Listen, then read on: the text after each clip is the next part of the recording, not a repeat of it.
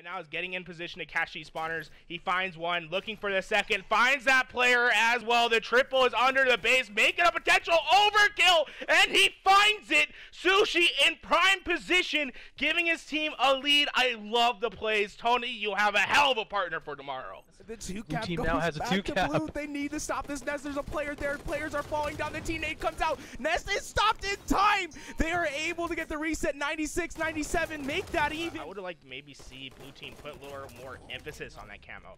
Uh, you know, the Rockets, uh, they're basically a guaranteed two kills, but the potential that you have when you get those cam with that camo in your hands is, I believe, limitless. It can really change the dynamic of a game, put yourself right back in it. But so far, I, I believe the ball play has just been I, am going to say it right now, superior coming out from Red Team. Bed Bath and Beyonce obviously have a, uh, a mission when it comes to this ball. They have clear, defined priorities when they do pick it up. Oh, this would We're be huge if he just stays alive. He's doing just that. Gets behind one, hits him. I would have liked to see him try getting further away, but able to find two, make that three, and Justice single-handedly stops the nest. Uh, Or Top Slayer last game, Sylvanic looking for players over in this tower. A three-man push, and he gets behind all of them. An early triple kill is in order. Sylvanic, you are a monster.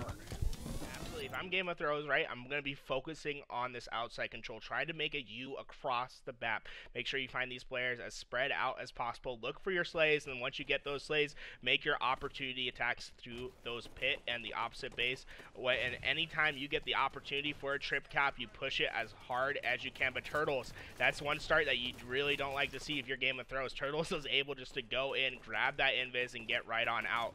Uh, fortunately enough for Game of Thrones, they were able to get the overshield, so we'll see if Crewman is able to make an impact with that overshield. But Turtles right now just trying his best to stay alive, and I like that from him. He disengages from the pit. He knows that he doesn't really have to worry about getting at the moment. Find the easy kill, get the green gun, and make a play with said green gun.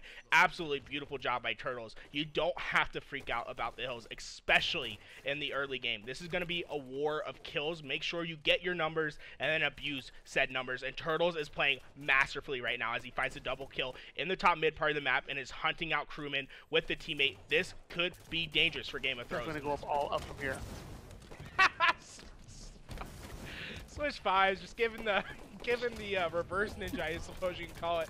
Neptune wanted it all and flies off the edge because of it. It's gonna be up to Sushi. He's gonna be the one player that can stop it.